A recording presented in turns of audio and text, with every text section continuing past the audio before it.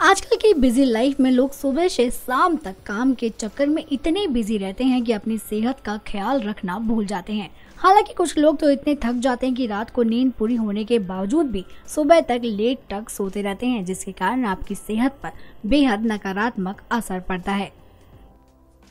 लेकिन आप ये जानकर हैरान हो जाएँगे कि अगर आप सात आठ घंटे से ज़्यादा नींद लेते हैं तो इससे आपकी सेहत पर तो असर पड़ता ही है। लेकिन आपके मस्तिष्क पर भी बेहद नकारात्मक असर पड़ता है। हाल ही में हुए एक अध्ययन के अनुसार इस बात का खुलासा हुआ कि जो कम सोता है उसकी सेहत पर तो बुरा असर पड़ता ही है, लेकिन जो व्यक्ति सात आठ घंटे से ज़्यादा की नींद लेता है, उसके मस्तिष्क पर बेहद बुरा असर पड़ता है। साथ ही उसकी सोचने, समझने की शक्ति धीरे धीरे कम हो जाती है।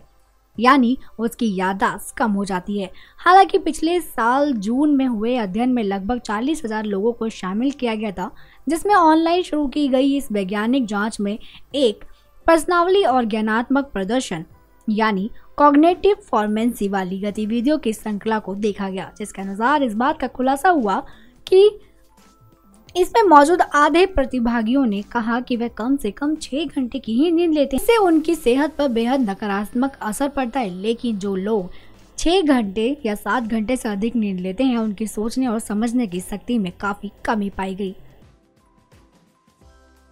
हेल्थ डेस्क से रानी की रिपोर्ट।